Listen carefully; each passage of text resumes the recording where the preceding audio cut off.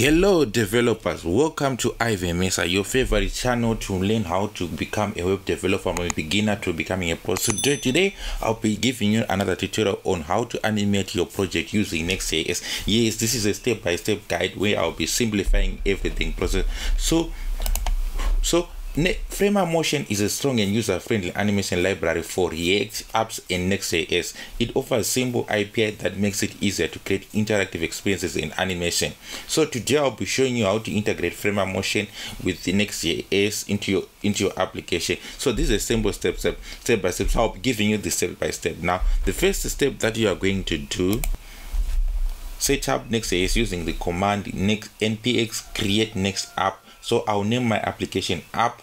So app so you just have to wait and choose the option enter yes to all installations. Make sure that you've installed everything. After you're done use let's type in cd app to to make sure that you are in the right directory. And you can always see you use the command ls to make sure that this is the right directory. After signing after after entering into the right directory the next step that you are going to do our browser on localhost 3000 inside your browser when it is opened you ought to see next.js beginning a page by default. To integrate framer motion we now need to make sure that we have installed framer motion using npm install framer motion.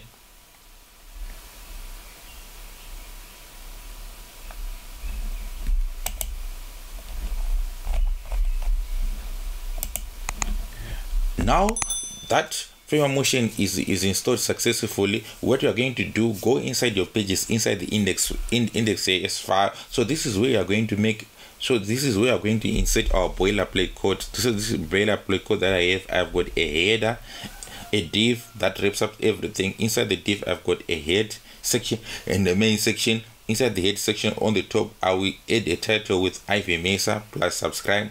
Then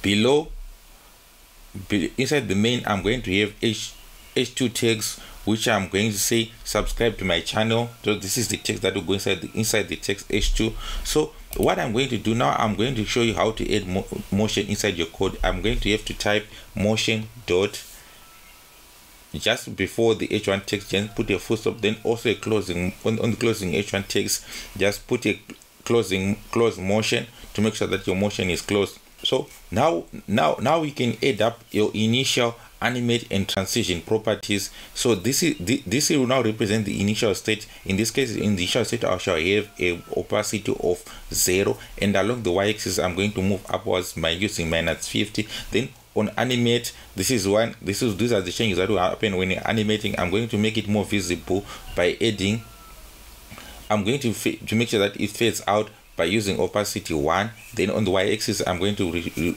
restore it in initial position using the y-axis 0 so how long the animation duration will come that will come on the transition property where i'm going to set the transition to 1 to 1 second. So after make sure that you have saved all the changes and you, and you can now see that the animation is is now fading up in and out so this was a simple tutorial that I did for you on how to use to introducing you to Framer Motion inside your next.